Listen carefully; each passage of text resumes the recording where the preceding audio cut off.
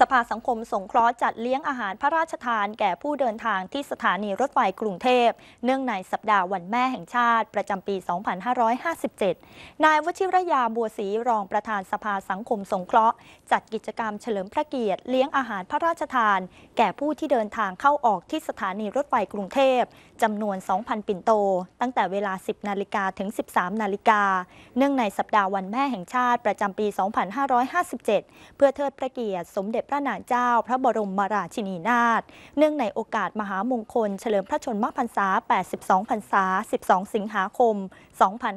2557ที่จังหวัดอุดรธานีพลตรีสิทธิ์ จันสมบูรณ์ ผู้บัญชาการมณฑลทหารบกที่ 24 ปลูกป่าพุทธอุทยานเฉลิมพระเกียรติ สมเด็จพระนางเจ้าพระบรมราชินีนาถที่วัดเทพนรินทร์อินทรมหาวราราม อำเภอวังสามหมอจังหวัดอุดรธานี เพื่อฟื้นฟูสภาพป่าเสื่อมโทรม เพิ่มพื้นที่สีเขียวในพื้นที่ป่าสงวนแห่งชาติ และสนองแนวทางตามพระราชดำริ ของสมเด็จพระนางเจ้าพระบรมราชินีนาถและตามแนวทางของคอสช ที่อยากให้ประชาชนทุกคนมีส่วนร่วมในการอนุรักษ์ป่า นายสราวุฒิศรีสกุล ผู้อำนวยการสำนักงานพัฒนาพิงขันนคร เชิญชวนชาวไทยและคนเชียงใหม่ ร่วมกิจกรรมปั่นจักรยานปรองดองรวมใจถวายพระพรชัย 12 สิงหามหาราชินี